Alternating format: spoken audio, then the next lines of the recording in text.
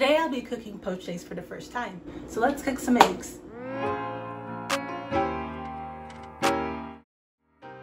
For this recipe, I prepared a few ingredients which include one egg and white vinegar. For the poached egg style, I'll be using Alton Brown's recipe. I filled in about an inch and a half of water to my skillet. I turned on my stove to medium high heat and added 1 4 teaspoon of white vinegar to my skillet.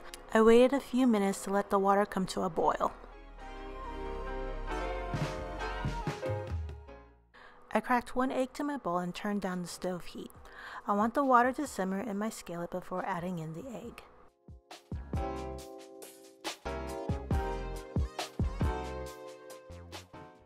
One major thing I forgot to do was stirring the water to get rid of the bubbles. As soon as I dropped in the egg, I was already too late. I started to panic and I just realized I can't move the egg around, so I had to wait until it's finished. I set the timer on the microwave about 4 minutes and 30 seconds.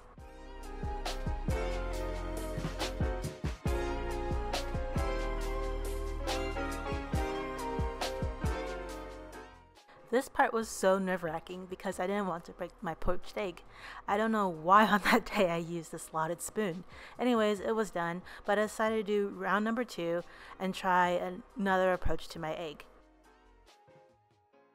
So my second time around, I remembered to stir up the water to get rid of the bubbles before adding in my second egg. I know the water looks gross because all the egg bits from the previous one, but it's alright. As you can see in a sec, the poached egg looks a lot better than the first one I made.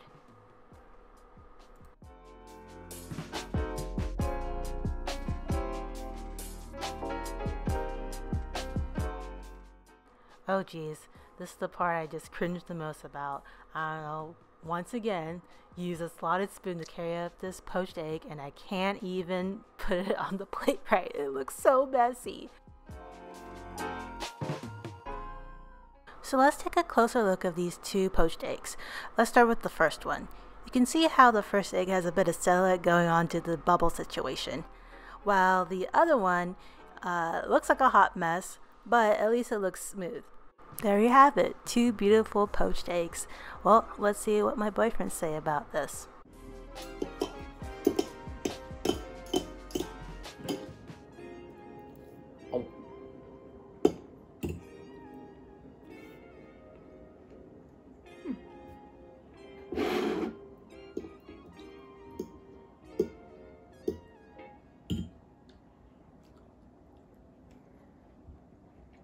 Hmm.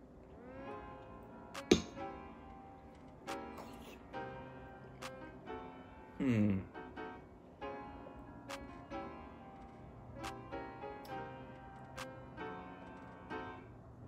Hmm.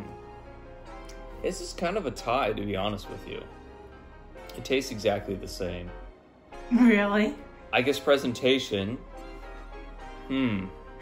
Presentation, this one looked more like fancy egg. So I'm going to give this one the winner. Interesting, even though I kind of messed up on that one. It's okay, life is full of mess ups. That's how I came into this world. Let's see. If I had to give this egg a rating, I would give it three and a half out of five eggs. Mainly because I just don't like eating eggs by itself. And also, it's okay. It's okay. If you have any questions or comments, please leave them down below.